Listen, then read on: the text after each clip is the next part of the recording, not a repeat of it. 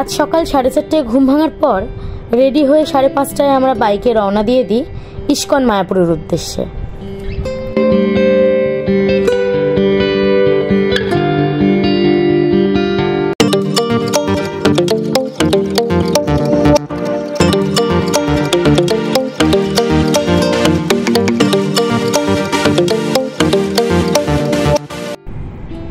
Hello বন্ধুরা।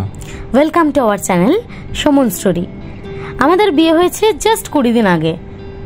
যেহেতু আমি আর সোম দুজনেই ওয়ার্কিং তাই আমাদের একসাথে ছুটি পাওয়াটা একটু ডিফিকাল্ট তাই আমাদের হানিমুনের প্ল্যান এখনও সেই মতন করা হয়ে ওঠেনি। এই জন্য আমরা দুজনে সাডেনলি ঠিক করি একদিনের ছুটিতে ইস্কন মায়াপুর থেকে বাইকে করে ঘুরে আসব। এতে আমি ফার্স্ট টাইম একটা লং ড্রাইভের মজা উপভোগ করতে পারব, আর আমাদের দুজনের বিয়ের পরে ভগবানের দর্শনও করা হয়ে যাবে। তাই একদম আর দেরি না করে পরের দিন ভোরেই আমরা বেরিয়ে পড়ি ইস্কন মায়াপুরের উদ্দেশ্যে। ইস্কন মায়াপুর থেকে আমাদের বাড়ির দূরত্ব দেড়শো কিমি দূর হলেও আমরা আমাদের জার্নিটাকে খুব এনজয় করেছি। সকালের হালকা ঠান্ডা আবহাওয়াটা বেশ ছিল।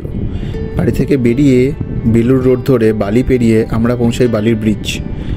ব্রিজ পার করে দমদম এয়ারপোর্ট পেরিয়ে আমরা পৌঁছাই চাপাটালির মোড় বারাসাতে। সেখান থেকে প্রায় এক ঘণ্টা বাইক চালানোর পর আমাদের বেশ খিদে পেয়ে যায়। তাই আমরা রাস্তার ধারে একটি চা টিফিন কর্নারে দাঁড়াই। ওখানের চাটা জাস্ট অসাম ছিল। তারপর চা ও একটু ব্রেকফাস্ট সেরে আমরা রওনা দিয়ে দিই আমাদের ডেস্টিনেশনের উদ্দেশ্যে। এখনও ইস্কন থেকে আমরা প্রায় দু ঘণ্টার দূরত্বে ছিলাম।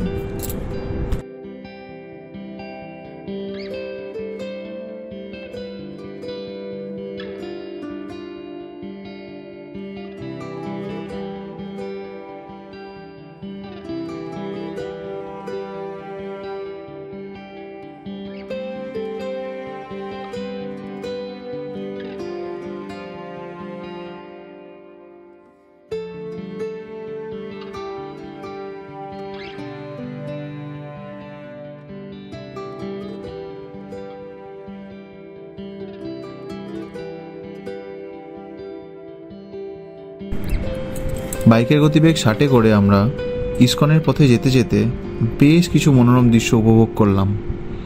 যাওয়ার পথে আমরা রাস্তার দুধারে অসংখ্য আম বাগান দেখতে পেলাম।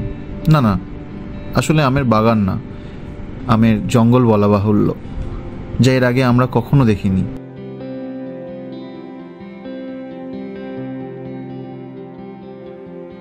যাই হোক, তারপর বেশ কিছুক্ষণ বাইক চালানোর পর আমরা পৌঁছাই শান্তিপুরে। এটা সেই শান্তিপুর যেখানে মেয়েদের তাঁতের শাড়ি বিখ্যাত। আমরা যেতে যেতে রাস্তার দুপাশে দেখি প্রচুর তাঁতের শাড়ি রোদে শুকনো করতে দেওয়া আছে। বলা বাহুল্য, শান্তিপুরের অধিকাংশ মানুষের জীবিকা তাঁতের শাড়ি বুনে।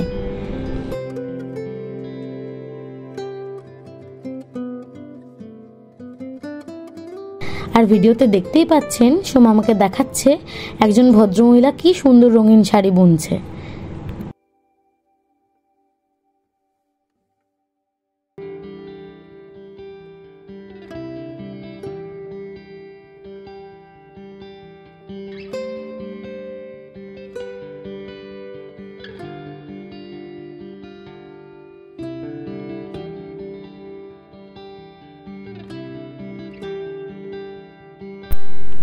তারপর শান্তিপুর ছেড়ে আরও দেড় ঘণ্টা বাইক চালানোর পর আমরা মায়াপুর এলাকায় প্রবেশ করি।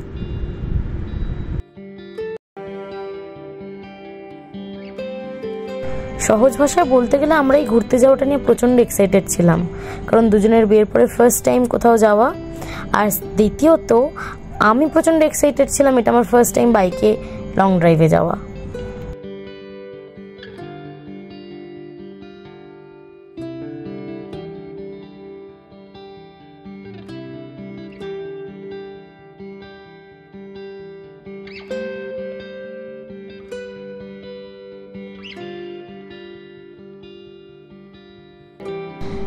যে দূর থেকে মন্দিরের চূড়াটা দেখা যাচ্ছে, সকাল থেকে এতটা জার্নির যে ক্লান্তি কোথায় যেন এক দেখাতেই উবে গেল।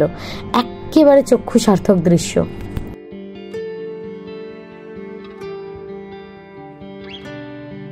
আর এই কীর্তন যাত্রা দেখে আমরা বুঝতে পারি, আমরা ইস্কন মায়াপুর চত্বরে প্রবেশ করে গেছি। কারণ মায়াপুরের এই অ্যাটমসফিয়ারের ব্যাপারে আমরা সবাই অবগত।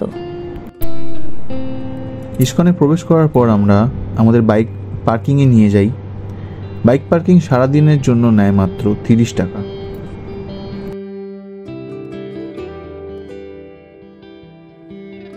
বাইক পার্কিংয়ে রেখে আমরা ইস্কন মন্দিরে প্রবেশ করি। মন্দিরে প্রবেশ করার পর ভগবানের দর্শন করার জন্য কিছু নিয়ম আমাদের ফলো করতে হলো। যেমন জুতো, ব্যাগ, মোবাইল, মন্দির কর্তৃপক্ষের কাছে জমা রাখা। বলে রাখি, জুতো রাখার জন্য কোনো টাকা পে করতে হয় না। কিন্তু ব্যাগ ও মোবাইল রাখার জন্য পাঁচ টাকা করে দিতে হয়। আর আমার মনে হয় মোবাইল রাখাটা খুব জরুরি, না হলে ভগবানও আমাদের মধ্যে মোবাইল ডিস্ট্রাকশন তৈরি করতে পারে। ঘণ্টাখানেক ভগবানের সুমধুর মহিমাযুক্ত মুখের সৌন্দর্যে মুগ্ধ হয়ে আর মনের কামনা বাসনা ভগবানের কাছে প্রকাশ করে আমরা মন্দির থেকে বেরোই আর বেরিয়েই চলে যাই ইস্কনের মেলা প্রাঙ্গণে, যেখানে অনেকগুলো জামা কাপড়ের স্টল রয়েছে আর রয়েছে খাবারের স্টল। তার মধ্যে আমার একটা পছন্দ হয় সুন্দর দেখতে রাধা লেহেঙ্গা। তখন ঘড়িতে বাজে প্রায় বারোটা। আমাদের গোপাল ঠাকুরের জামা, ইমনের রাধা লেহেঙ্গা কেনার পর আমাদের বেশ খিদে পেয়ে যায় এবং আমরা চলে যাই গোবিন্দাস রেস্টুরেন্টে। অনেকেই জানে তাও বলে রাখি, এই গোবিন্দাস রেস্টুরেন্ট কিন্তু ইসকন অর্গানাইজেশন দ্বারাই চালিত। পুরো ভেজ রেস্টুরেন্ট এটা। এবং খুব পকেট ফ্রেন্ডলি আমরা যখন লাঞ্চের জন্য গোবিন্দাস রেস্টুরেন্টে যাই, তখন সেখানে লাঞ্চ আইটেম স্টার্ট হয়নি। তাই আমরা বাইরেই ওয়েট করি কিছুক্ষণ।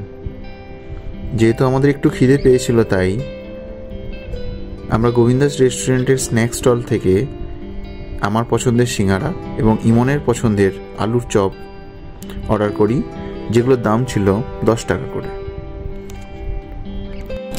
তারপর গোবিন্দাস রেস্টুরেন্টের লাঞ্চ টাইম শুরু হয়ে যায়। তাই আমরা আর দেরি না করে ঝটপট রেস্টুরেন্টের ভিতর প্রবেশ করে যাই। না বলে পারলাম না রেস্টুরেন্টের ভিতরটা অত্যন্ত পরিষ্কার ঝকঝকে এবং এই রেস্টুরেন্টের ওয়াশরুমগুলো বেশ ওয়েল মেনটেন্ড এই রেস্টুরেন্টের শান্ত অ্যাম্বিয়েন্সের মধ্যে আমরা এক টেবিলে গিয়ে বসে পড়ি এবং এখানকার মেনু ডিসাইড করতে থাকি। খানিক সময়ের মধ্যেই আমরা আমাদের মেনু ডিসাইড করে ফেলি। সেটা হলো ভেজ বিরিয়ানি, মালাই কোপ্তা, পনির বাটার মশলা আর ম্যাঙ্গো লস্যি যে মাত্রই আমরা আমাদের পছন্দের ডিশ অর্ডার করতে যাব, ঠিক সেই সময়ই ওখানকার আমাদের টেবিলের যে সার্ভিসের দাদাটি ছিলেন, উনি আমাদের জানান যে এখন ভগবানের মহাপ্রসাদের সময়। কারণ এখন বাজে একটা পঁয়ত্রিশ। আমরা এই সময় এখানকার মহাপ্রসাদের থালিটা অর্ডার করতে পারি। আর এই থালি অর্ডার করলে নাকি অন্য কিছু খাওয়ার আর দরকারই পড়বে না। কারণ এই থালিতে রয়েছে দুটো রুটি, চাপাতি, পোলাও রাইস বাসমতি রাইস মুগ ডাল, পনিরের তরকারি, চানা মশলা ড্রাই আলু কড়াইশুটির তরকারি, স্যালাড, আলু ভাজা, করলা ভাজা, আচার, পায়েস শ্যাকা পাঁপড় আর লেমন জুস। এই থালির খাবারের পরিমাণ একজনের জন্য বেশ বেশি, কারণ আমি আর সোম দুজনের কেউই খাবার পুরো খেতে পারিনি। আর এই থালির এতগুলো মেনুর দাম মাত্র দুশো সত্তর টাকা। খাবার খেয়ে গোবিন্দাসের খাবারের দাম এবং মান অত্যন্ত সুন্দর মনে হয়েছে। খাবারে বেশি তেলও ছিল না এবং খাবারের কোয়ালিটি ছিল অতুলনীয়। এখানে খাবার পর একটু বিশ্রাম নিয়ে আমরা আমাদের বাড়ির উদ্দেশ্যে রওনা দিয়ে দিই। তখন ঘড়িতে বাজে প্রায় দুপুর সাড়ে তিনটে। তার সাড়ে তিন ঘণ্টা বাইক চালানোর পর আমরা আমাদের বাড়ি পৌঁছাই সন্ধে সাতটা নাগাদ। আর তখন আমরা ছিলাম বেশ ক্লান্ত। সব মিলিয়ে এই ছিল আমাদের কম খরচে বাইকে একদিনের মায়াপুরের ট্যুর হ্যাঁ বলাই যায় কম খরচে, কারণ যেহেতু আমার প্ল্যাটিনাম বাইক তাই আমার বাইকে তেলের খরচ লেগেছে প্রায় পাঁচশো টাকা। আর ওখানে কেনাকাটা বাদ দিলে শুধু খাওয়া খরচ লেগেছে আমাদের প্রায় আটশো টাকা। সব মিলিয়ে তেরোশো টাকায় দুজনে একদিনে কমফোর্টেবলি জার্নি করে মায়াপুর ঘুরে এলাম এবং বেশ মজা করলাম।